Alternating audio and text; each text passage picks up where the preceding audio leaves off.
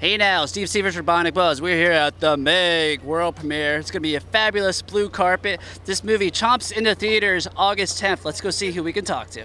Robert, why do you think people love shark movies and Shark Week? Why do we like seeing people eat by a shark? Because they're scared of sharks. It's their greatest fear.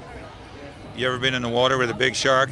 I've had a reef shark swim for me and it scared the hell out of me. Okay, well, yeah. They get your attention, man. So what's coming up the rest of the year for you? Any upcoming projects I'll talk Uh, about? a couple of indie movies seems to be what I'm doing a lot of these days. So I get to travel to exotic places and get free food. It's pretty good. Can't complain. Nothing wrong with that. All right, thank right. you.